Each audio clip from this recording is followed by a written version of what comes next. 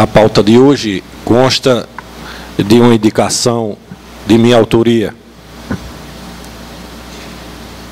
Vou fazer a leitura da referida indicação.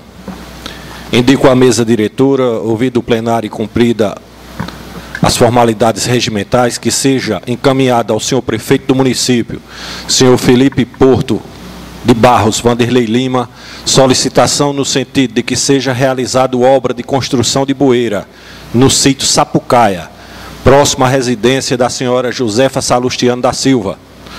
Da decisão dessa casa e do inteiro teor desta proposição, que seja comunicado ao senhor prefeito do município e ao senhor secretário de Agricultura. Justificativa. Em atendimento à solicitação dos canhotienses residentes naquela localidade e ainda de muitos outros que se utilizam dessa estrada, que me procuraram e relataram as dificuldades sofridas no período chuvoso, por aquela estrada não possuir bueira.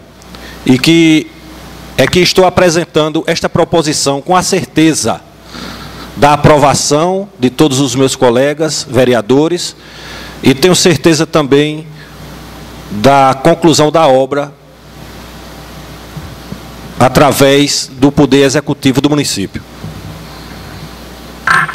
Esta proposição ficará à disposição de vossas excelências na Secretaria da Casa e será votada e discutida na próxima reunião.